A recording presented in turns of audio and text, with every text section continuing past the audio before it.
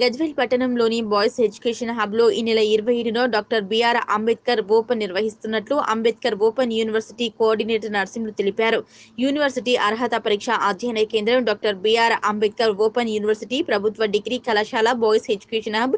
అర్హత పరీక్ష రెండు వేల ఇరవై దరఖాస్తు చేసుకున్న అభ్యర్థులు రేపటి నుంచి అనగా ఇరవై ఐదు తొమ్మిది రెండు వేల ఇరవై hall tickets W W W dot BRAOU online dot in వెబ్సైట్లో అందుబాటులో ఉంటాయని తెలిపారు. అభ్యర్థులందరూ కోవిడ్ రూల్స్ను పాటిస్తూ ఇరవై ఏడవ తేదీలో హాల్ టికెట్ మరియు మాస్క్ శానిటైజర్ను తమ వెంట తెచ్చుకుంటూ ఉదయం తొమ్మిది గంటల వరకు పరీక్ష కేంద్రం ప్రభుత్వ డిగ్రీ కళాశాల గజ్వెల్కు రాగలరని అధ్యయన కేంద్రం సమన్వయకర్త డాక్టర్ జి నరసింహులు తెలిపారు. ఇతర వివరాలకు అధ్యయన కేంద్రాల mobile number seven three eight two nine two nine seven three eight నంబర్ను సంప్రదించగలరని ఆయన తెలిపారు.